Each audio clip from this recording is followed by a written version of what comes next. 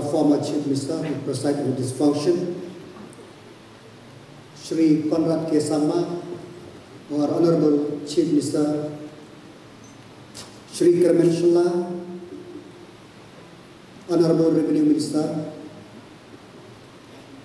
Sri Makbul Haq, the Chancellor of USTM, the Vice Chancellor, the teaching community, and the non-teaching community of USTM, parent, principal, and my dear student. You are brilliant. You are hardworking. You have your own ambition. That's why you have reached this stage where your hard work has been recognized by one and all. This is the beginning of your journey. A long way, a long way you have to go. So please remember, as I said before, that you are second to none.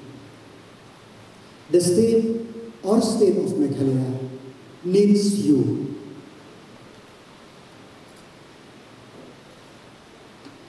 That's why I, on behalf of the government, urge upon you, don't rest, work hard.